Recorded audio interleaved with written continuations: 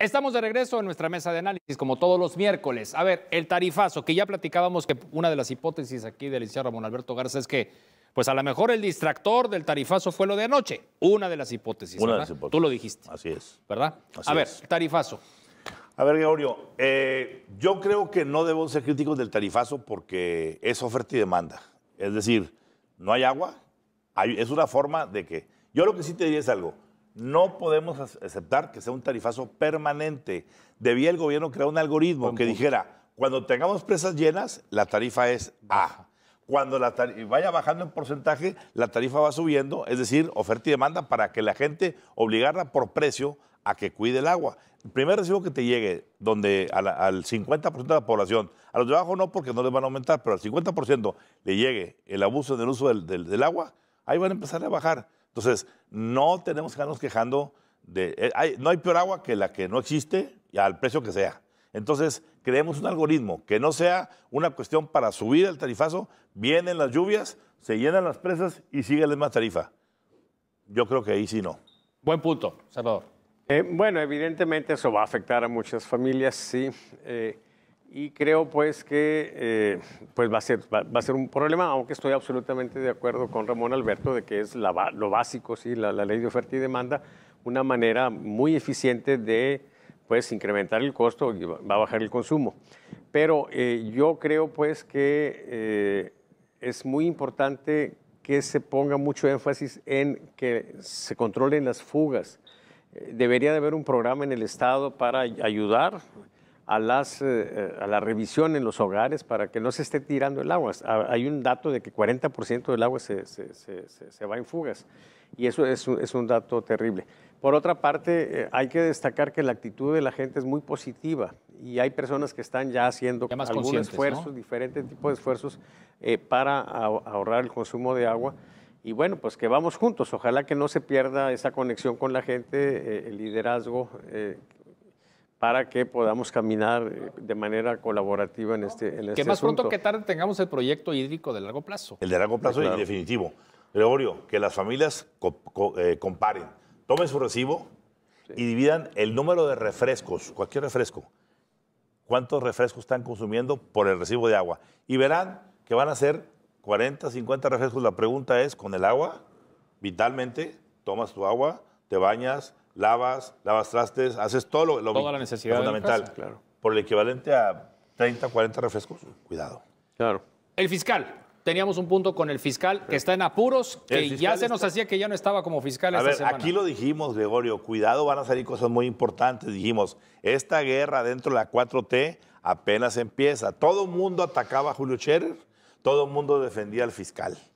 Se revoltearon las, las circunstancias. ¿Por qué? Por la grabación del fiscal, en donde el fiscal admite públicamente Contubernio. que le llegó un contubernio con gente de la Suprema, Suprema Corte. Corte. Esta es una crisis de, de gobierno para el presidente muy pesada.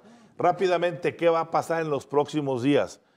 Se pospusieron las audiencias hasta abril de los abogados que acusan de en contubernio con Julio Scherer haber presionado o haber tratado, intentado extorsionar a Juan Collado, que es el epicentro del caso. Y lo que sí va a pasar el próximo lunes 14 de marzo es que la Suprema Corte va a tratar el caso de la familia del, eh, Del fiscal. en una acción donde hay presunto conflicto de interés, abuso de autoridad, encarcelamiento por fuerza de la sobrina, acoso a la eh, cuñada, etcétera. Si la Suprema Corte dictamina que aquí hubo esos elementos, pasa inmediatamente ese fallo al Senado, quien tendría que tomar pertinencia. El presidente no defendió a Gertz Manero, igual que en su momento lo hizo con Scherer. ¿Por qué? Porque hay presunción de que hay elementos que el fiscal, con los cuales el fiscal arrinconó al presidente. Está bien que el presidente diga eso. La Corte, vamos a ver qué ministro. Él dijo que tenía cuatro ministros a su favor. Cualquiera que vote en favor de él va a ser sujeto Señalamiento. a señalamientos. Claro. Entonces, cuidado, fechas 14 del el próximo marzo? lunes, Ajá. no dejen de ver la, la resolución de la Suprema Corte, que eso va a desatar si el fiscal se queda a pesar de todo o Se si va. pasa a la báscula, como dice. Próximo miércoles lo estaremos platicando, Claro por sí. supuesto. Encuestas y monitoreos del doctor Salvador. Borrego. Venga. Bueno, déjenme decirles que el presidente vive el peor momento del sexenio. Y en lo que vamos a ver se refleja eh, esa situación porque una de las cuestiones fundamentales de él fue la idea de, de que eran tres, tres cuestiones básicas, no mentir, no traicionar, sino robar. Y resulta que ahora aparece eh, en, en tercer lugar, como respuesta espontánea, que el presidente dice puras mentiras en las mañaneras. Es importante de- decir que estas son respuestas espontáneas y que la verbalización que está ahí es la forma en que la gente La lo gente lo expresa. dice.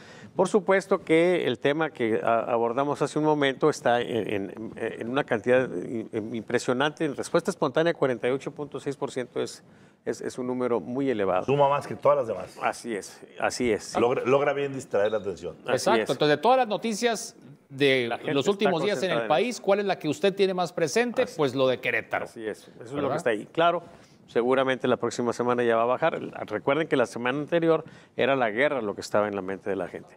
Si vemos, sí, si vemos la siguiente, observamos cómo eh, un damnificado de todo este eh, jaloneo de la, revocación de mandato, pues es el Instituto Nacional Electoral. Tiene 48.9% de aprobación, cuando alguna vez anduvo en los 80s. Si vemos la siguiente, vemos que eh, tenemos dos monitoreos, uno que nos vuelve a decir que la idea de la inseguridad, seguramente influido por la tragedia del estadio, pues está muy arriba, tenemos una alerta negativa. Y la última, eh, eh, es- la voy a relacionar inevitablemente con lo que señalé hace un momento, que el presidente está en una situación crítica porque el mecanismo que él utilizó siempre para salir de los problemas era inyectar dinero.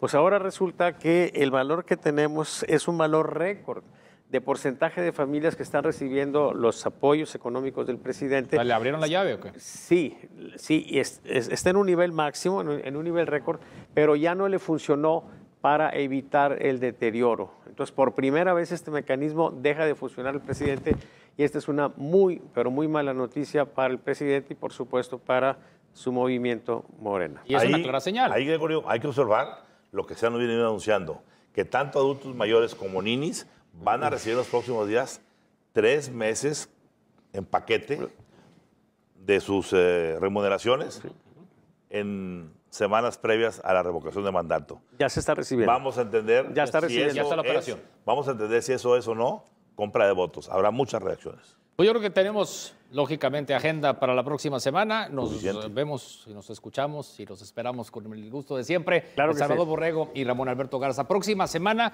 que ya decíamos, entre otros temas, el caso del fiscal Alejandro Gertz, Sin duda. más los temas locales y más lo que se acumule, ¿sí? Claro que sí. Muy amables. Gracias, Salvador. Gracias, Ramón Alberto. un gusto. Gracias. Continuamos.